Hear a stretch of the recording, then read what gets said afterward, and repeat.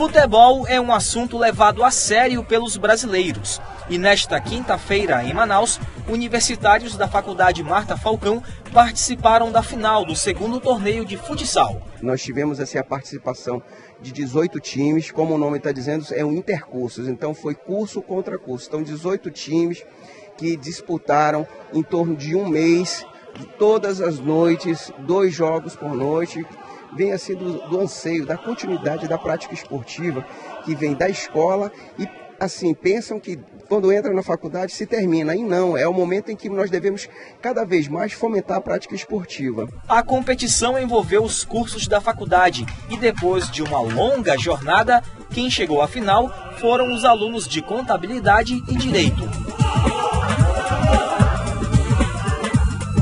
Quer agradecer à faculdade por ter. É a segunda vez que está fazendo o, o torneio intercursos e que do ano passado a gente competiu, chegamos de novo no, entre os quatro melhores, ficamos em terceiro lugar. Esse ano estamos de novo entre os quatro melhores. Vamos disputar hoje, infelizmente, o terceiro lugar, não deu para chegar na final. Acaba que a gente acaba, é, esquece um pouco dos estudos e se diverte com o futebol e conhece outros, outras pessoas, uma forma de competir. Daniel Moraes participou pela primeira vez e já pretende se inscrever na próxima edição.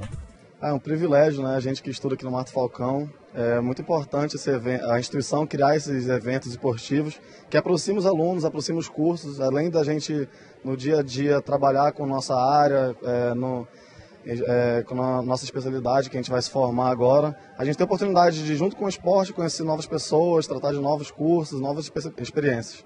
A premiação para os vencedores foram medalhas, troféus e uma quantia em dinheiro de até mil reais.